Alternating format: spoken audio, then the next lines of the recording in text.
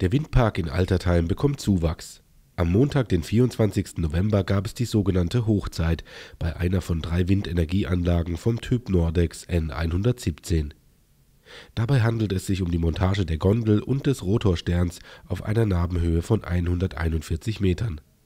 Wir werden heute den Stern ziehen und zwar den, die Narbe mit den Flügeln zusammengebaut äh, mit dem Hauptkran, 1000 Tonnen Kran äh, bis hochziehen und dann vorne an die Gondel anschrauben.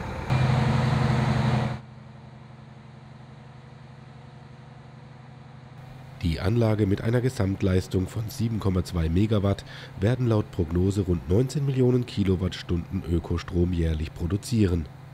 Die Windenergieanlagen werden von der Green City Energy AG entwickelt und Ende 2014 an die Kraftwerkspark 2 KG übergeben das Investitionsvolumen liegt bei 4,2 Millionen Euro.